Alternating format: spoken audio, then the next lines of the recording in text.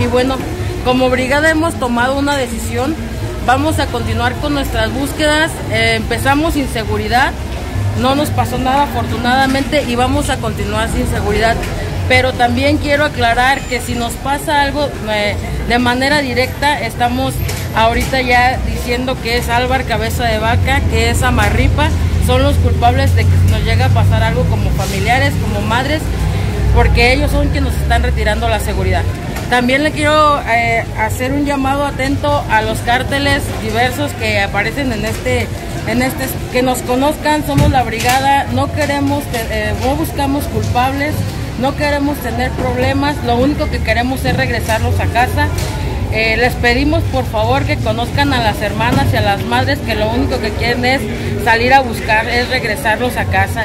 Les pido por favor que nos respeten, nosotros respetamos su trabajo, que nos respeten a nosotros y por favor que, digo, no nos lastimen, no nos hagan daño. La verdad no queremos que se nos condicione la seguridad, porque pues sin seguridad o, no, vamos a seguir trabajando. Yo lo que les exijo a las autoridades es que no nos quiten la seguridad, es nuestro derecho como buscadoras, es un derecho que tenemos, nosotros no buscamos culpables, no le hacemos nada a nadie, nada más salimos a buscar a los que nos faltan.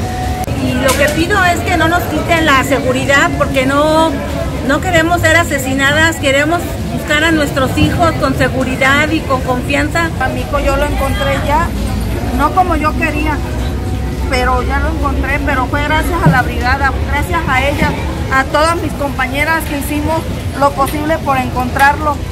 Todavía que lo encontraron todavía tardaron un año para entregarme a mi hijo.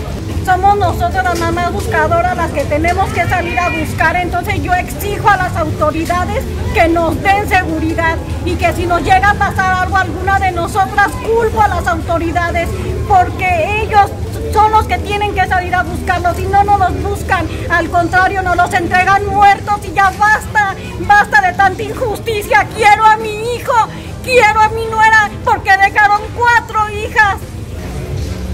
el colectivo La Brigada encontraron a mi hijo si no hubiera sido por la por los por el colectivo de Hasta Encontrarte jamás hubiera encontrado a mi hijo.